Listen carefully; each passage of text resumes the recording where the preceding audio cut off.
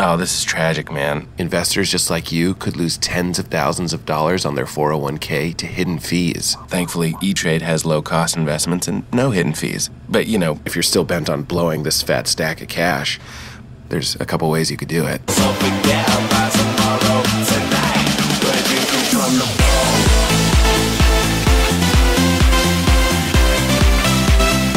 or just go to E Trade and save it. Boom. We're drinking from the ball.